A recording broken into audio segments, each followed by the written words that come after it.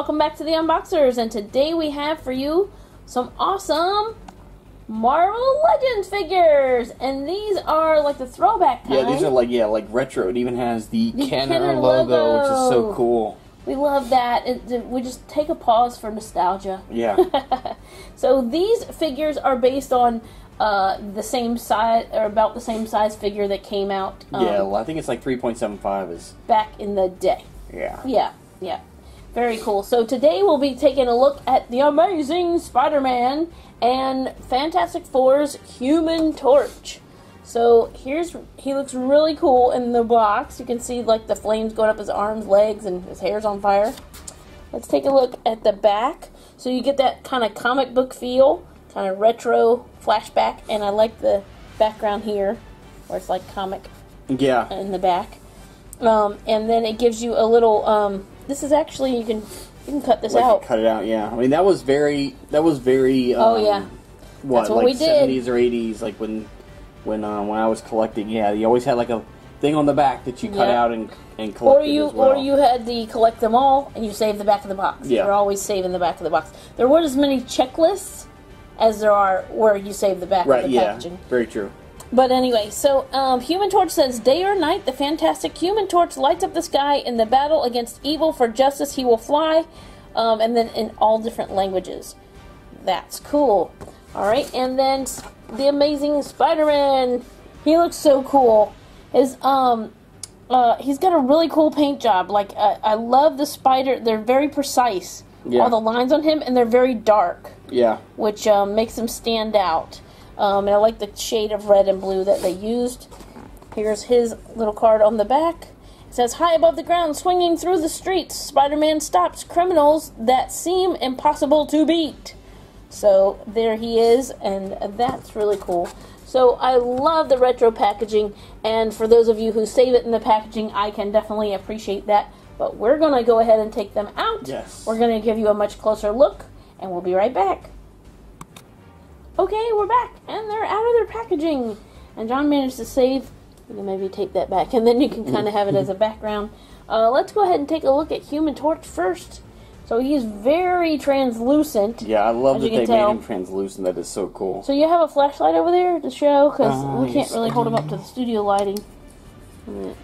Yeah, look at that. Whoa! he really looks like he's on fire that way. Um, I love how they did that. Um, so here's his face with his uh, yellow hair, and the hair is like more, uh, so even more rubbery than the actual body part. And then you have the flames going up his arms, which is really cool, and legs. So they did a great job. And these are these are nostalgic, like a throwback. So um, they're not going to be like you know uh, all different kind of crazy poses. Right, But I right, right. really do love the size of them, and um, and I just think I really do think they're a great size and a great detail to the size. They did a great job on these. So do you want to show what they can do? Um, basically just the sure. basics. Yeah, I mean it's basically like the old like standard five points of articulation. So, you know, you have You the can sit down. the legs, the arms. Yeah, you can put them in a vehicle. you can do his arms, and then of course the neck. So yeah, but very cool. I mean, it's definitely um, in like you said, like for the size. Um, you know, I mean that's just they're just gonna look really cool, like like because there's quite a few of these. Mm-hmm. Um, you know, like grouped together on the shelf to just have like the um, The basic characters up Yeah. there. And um, these are the like the perfect, you know, like put it in your pocket toy size. Yeah. You know, when you're when you're going when you were a kid, you shoved a couple action figures, man, or you know whatever in your pocket, and then you had entertainment for hours wherever your mom took you or your dad. took you. yeah, this was definitely like the standard, like the go-to size. Um. Oh when- yeah, when, for uh, little hands too. up. Yeah. Um, and then here's Spider Man. He looks really cool. I really, um, I think it's like the dark lines that's really drawing me, as well as probably the finish on his suit. Cause, um, like, like I'm almost getting a diecast metal Yeah. um, feel to the to the coloring and everything, but he's not. He's he's plastic like the other one, and um, I think he looks great. He's got the same articulation, of course. Um, you, you know, he can he can sit down, but I don't think I've ever seen Spider-Man sit down. oh no, he does think on the uh, what was that show on Electric Company? I Oh, think yeah. he does the he sits down and thinks. But anyway, and he's got his hands in web pose, both of them. Because you never know, you're going to be shooting webs That's right. And swinging. So I think he is a really awesome size.